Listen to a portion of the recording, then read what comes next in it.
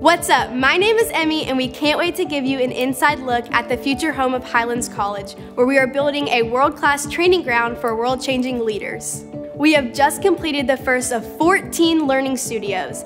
At Highlands College, we have flipped the script on how classes are taught. Gone are the straight rows and long lectures. Our students sit in pods to learn as a group through discussion and collaborative application. The very heart of our building is where we champion our students' next steps into ministry.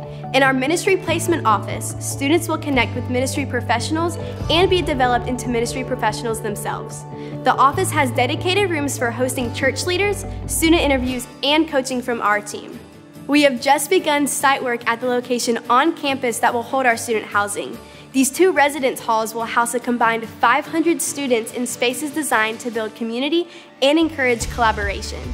And that is just a glimpse at some of the exciting transformations you are a part of at Highlands College.